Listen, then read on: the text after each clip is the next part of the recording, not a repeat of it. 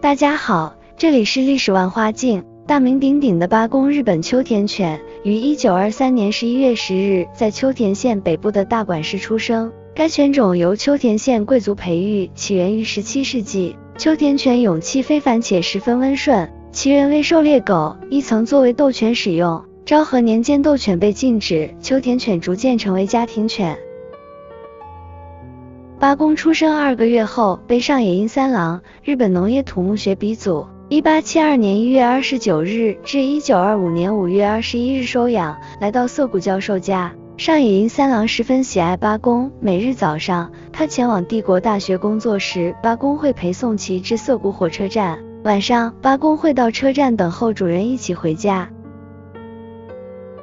一九二五年五月二十一日。上野英三郎因脑溢血在东京地大讲堂上去世，八公未能接到主人回家，三天三夜水米未进，在涩谷车站连续等候三天三夜。后来八公移居教授亲友家中，但每日仍到涩谷车站迎候他的主人。最初车站工作人员对他并不友好。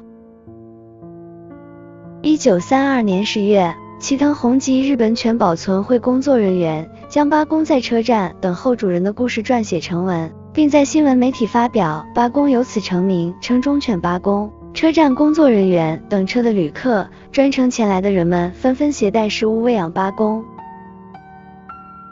期间，上野英三郎教授的学生斋藤博吉在车站看到八公，并把其送到前上野家园丁小林桑波罗家中照顾的八公生活。斋藤博吉通过研究发现，当时日本纯种秋田犬仅剩三十余只，包括八公。上野过世后的九年多时间里，八公每日都来站前等待。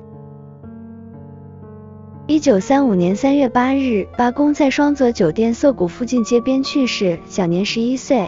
八公的尸体随后被送往东京帝国大学解剖，胃中有烤鸡、肉串，但这些食物并不能造成八公死亡。二零一零年发现八公死前已患有晚期癌症等病。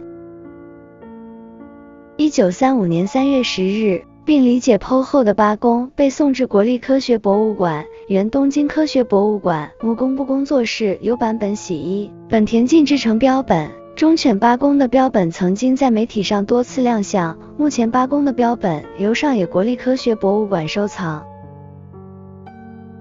一九三四年四月，社会人士在车站前制作了八公像。八公去世后，人们在这里举办了告别仪式。八公遗体火化后。骨灰被埋在东京港区青山公墓，与安葬在此地的上野英三郎教授同葬。每年三月八日，会有很多人到八公像前表示敬意。一九八七年，日本导演神山正二郎将八公的故事拍摄成电影《忠犬八公物语》，获日本电影学院提名奖。二零零九年，美国亦制作了电影《忠犬小八》，获得观众的广泛好评。为纪念八公诞生九十周年，秋田县曾发行了纪念邮票。